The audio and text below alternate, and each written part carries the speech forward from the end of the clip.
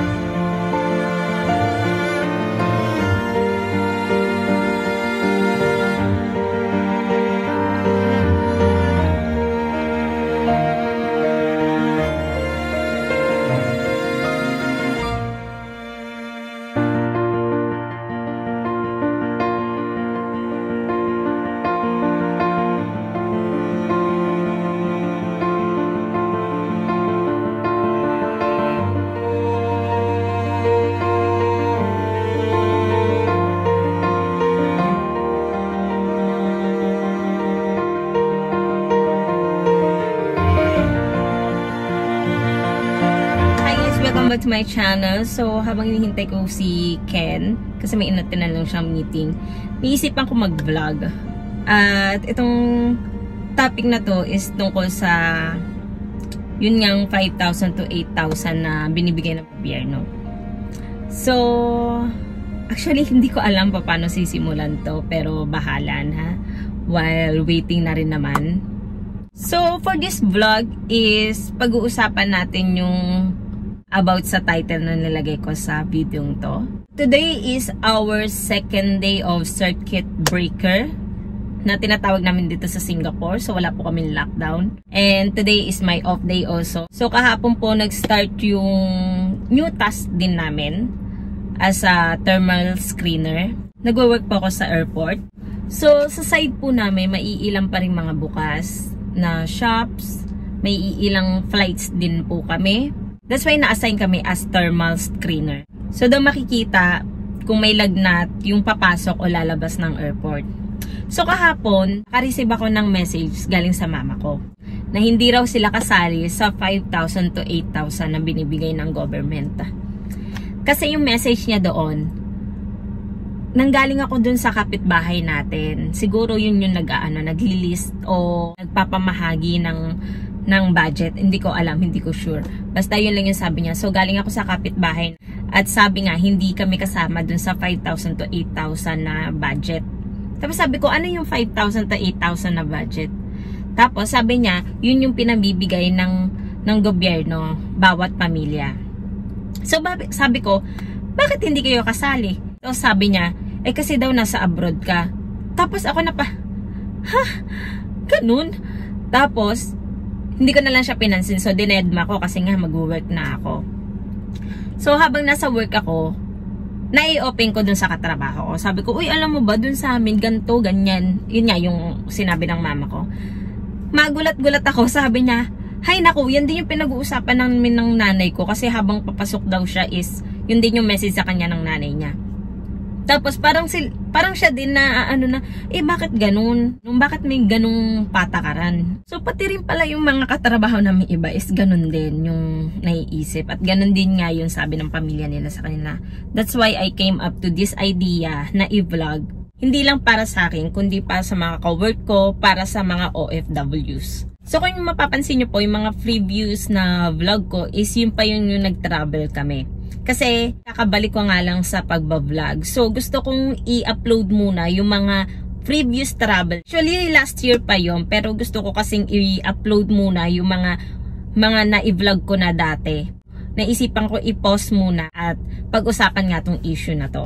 Before I start this vlog, actually haba ng intro, di ba? Pero before I start this vlog, I wanted to tell you ano yung sitwasyon namin dito, sitwasyon ng mga OFW. So here in Singapore, we don't have lockdown. As I've said nga, circuit breaker. And nag-start yon kahapon. So it-start siya ng April 7 hanggang May 4. Ano nga ba yung circuit breaker? And paano hindi siya naging lockdown? Hindi siya lockdown kasi may mga nagwo-work pa rin. May mga open pa rin na shops. At may iilang flights pa rin. Mga close lang po dito is yung mga bars, mga entertainment, ganon. Church, yung temple, yung mga school, mga mall, and then bawal na rin po yung mga gatherings. I think naman yung gatherings na yun is matagal na rin talagang pinagbawal. Hindi lang nagsimula kahapon. Bawal na rin po yung bibisita ka sa ibang bahay. So ngayon po is kung sino lang yung nakatira doon sa bahay na yon, dapat yun lang yung mga tao. Yung mga open talaga dito is yung mga essentials lang. Such as supermarket, tapos yung mga hospitals, of course, clinics, tapos most of the restaurants and yung tinatawag naming hawkers dito. Actually, yung restaurants, mga food chain, hawkers, hindi na po pwede mag-dine-in. Lahat po is take-away food, mga take-out orders na lang po. As in, wala na po siyang dine-in.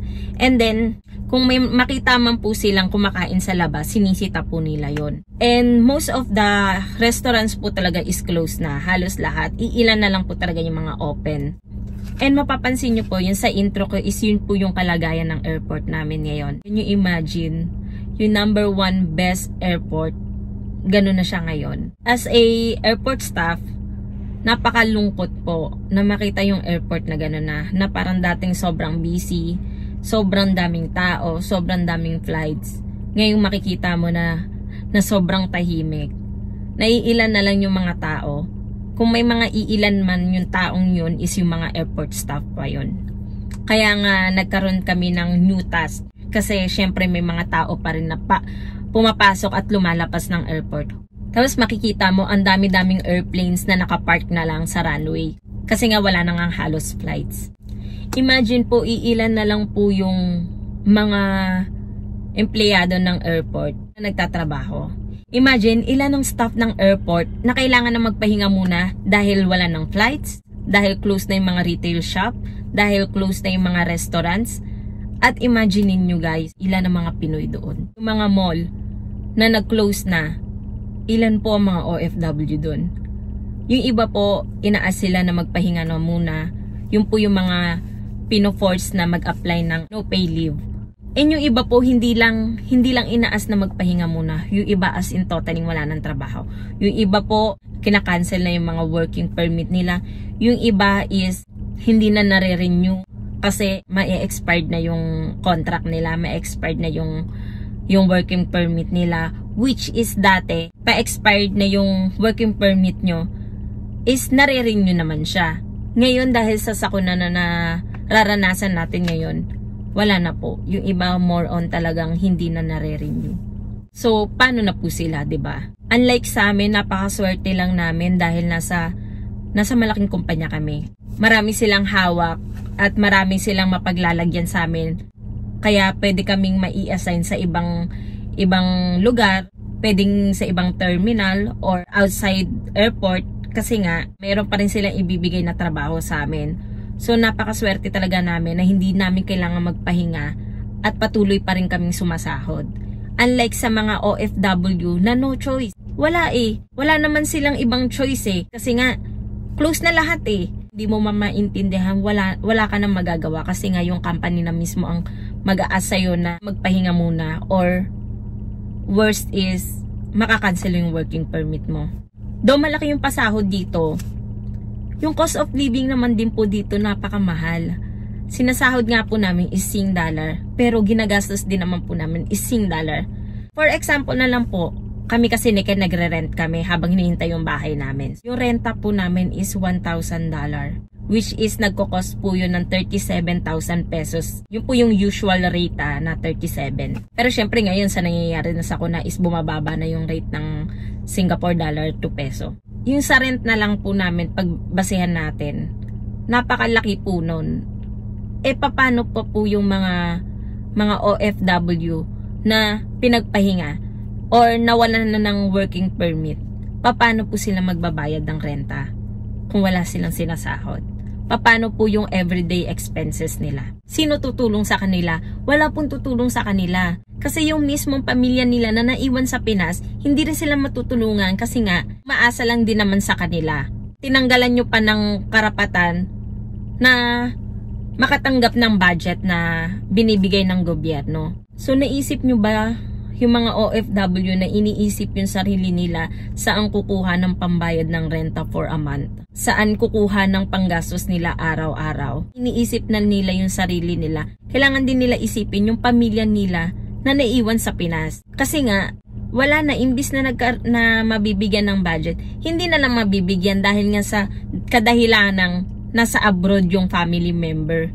And let's say po ganto, sampu kayo sa isang pamilya tapos ang family member na nasa abroad, iisa lang. So sa laking pamilya na yon, ibibigay nila yung buong obligasyon doon sa nag-iisang OFW lang.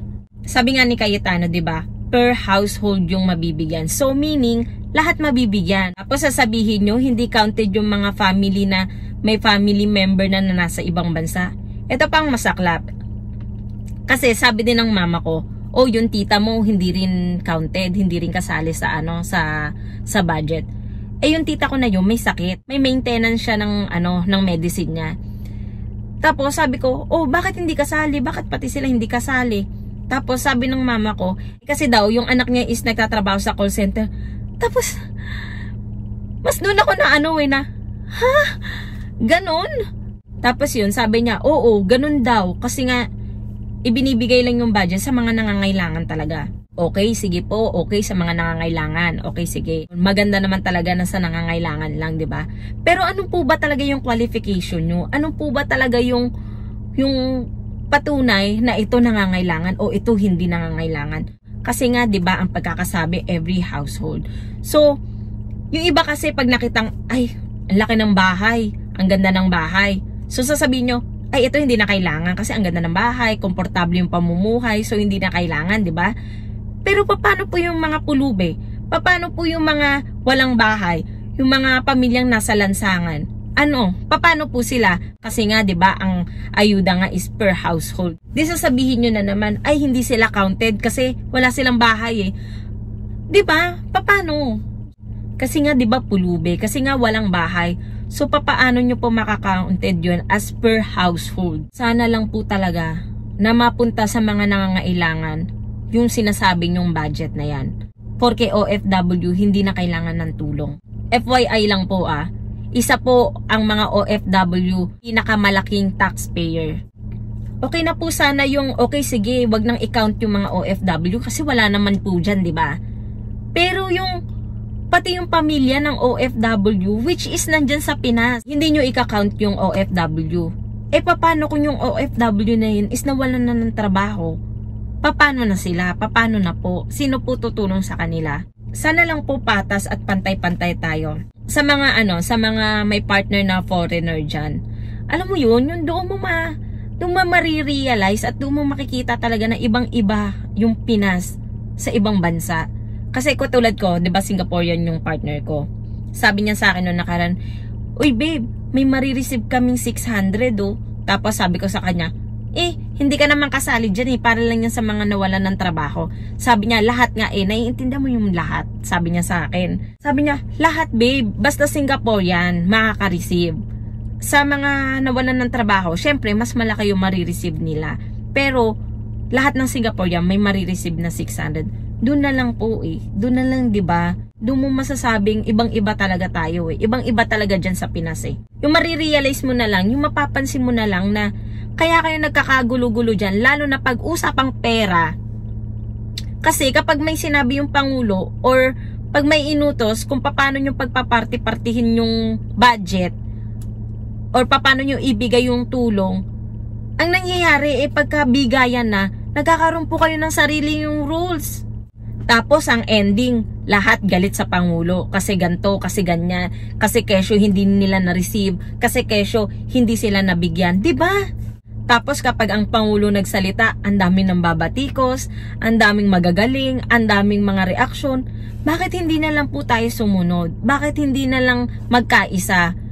Bakit hindi na lang po ganun? Eh, kung tutuusin, para lang din naman sa ikabubuti yung lahat, di ba? Tingnan nyo dito, kapag nagsasalita yung Prime Minister dito, lahat sumusunod, which is lingid sa kaalaman nating lahat. Singapore is the fine country, ba? Maraming penalty pagka lumabag ka sa batas dito, 'di ba? Pero sila hindi sila sumusunod lang dahil sa takot sila. Sumusunod sila dahil meron silang respeto. Respeto which is yun yung wala tayo diyan. Gusto ko lang ipaalam na hindi ako galit sa presidente, hindi ako galit sa gobyerno. Ang kinakainisan ko lang is yung dahilan. Yung dahilan na hindi makaka-receive yung isang pamilya dahil lang may family member na nasa ibang bansa. Eh hindi naman po lahat ng OFW is may trabaho pa rin sa nangyayari ngayon. Kasi po, hindi naman po kasi dali yung buhay nila na magtrabaho sa ibang bansa hindi naman din po kasi lahat ganong kayaman na kayang isustain yung araw-araw na expenses ng pamilya nila sa Pinas. Kasi po, ako na po nagsasabi, yung mga OFW din po dito is nai-stress na. Ayun lang po, I think I'm done na sa mga gusto kong sabihin. Yung vlog na to talaga is for OFW. At I'm sure na sila lang po yung makakaintindi sa, sa vlog na to. I'm sure na sila rin po yung gusto ring magsalita pero pinipili na lang manahimik dahil nga wala na rin naman silang magagawa. So sana lang po, sana lang po talaga is one day maging patas lang din talaga.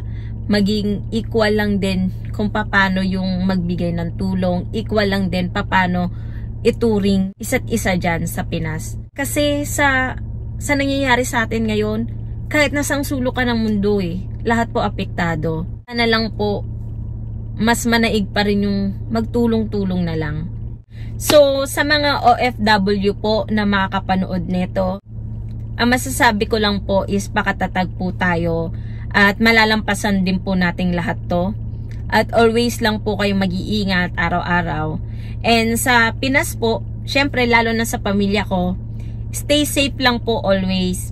So, thank you for watching. See you my next vlog.